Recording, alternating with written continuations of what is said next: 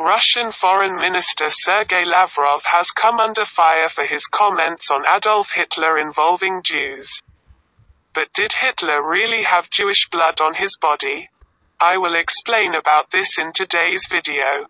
Lavrov's remarks, which sparked Russia's diplomatic row with Israel, actually sparked a rumor about the identity of Hitler's grandfather in 1920.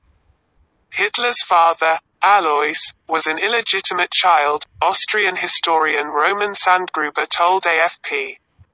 Alois did not have a paternal identity.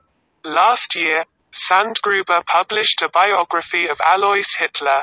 He explained that as soon as Adolf Hitler began to rise to power in 1920, the rumors spread. This theory was propagated by his political rivals after Nazi leader Hitler took power in Germany in 1933. The memoirs of Hans Frank, a Nazi war criminal who ruled Poland during World War II after World War II, reignited Jewish doctrine in Hitler. In the memoir published after Hans Frank's execution for war crimes in 1948, Frank mentioned that he had secretly researched his lineage at Hitler's request. According to a report published in the German magazine Der Spiegel at the time, the study was conducted in the late 1930s, Frank wrote in his memoirs. Hitler told Frank that his nephew was blackmailing him about it.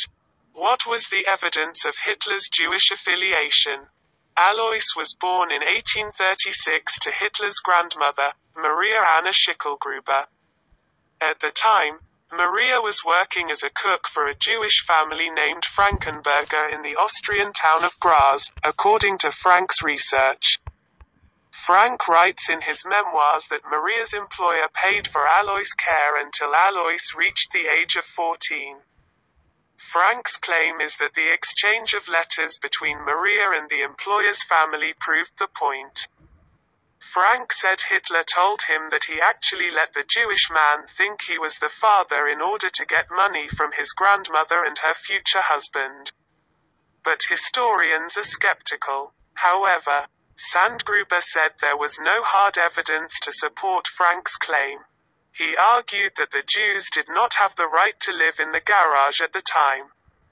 So the question is who was Hitler's grandfather?